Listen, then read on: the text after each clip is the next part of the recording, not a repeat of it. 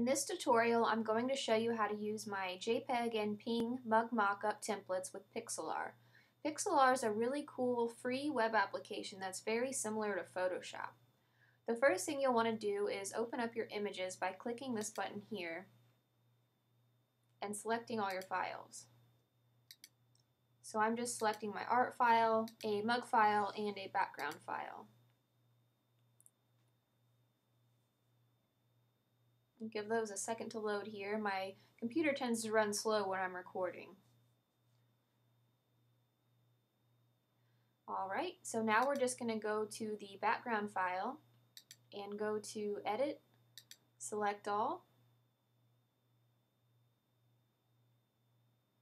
and then Edit Copy. And then we're going to navigate to the mug file and paste.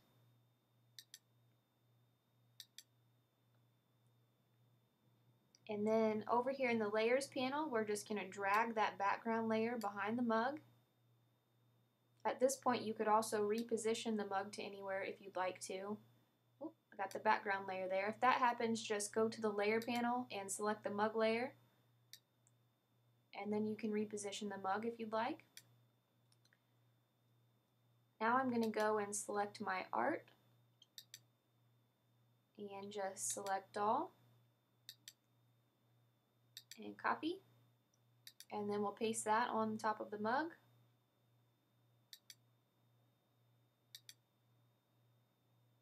And if for any reason that pastes underneath the mug, just go over here to the layers panel and drag that to the top. And if you don't see these layer options here, you can just toggle on the layer options on and off by clicking this button. And you're going to want to set your art file to multiply.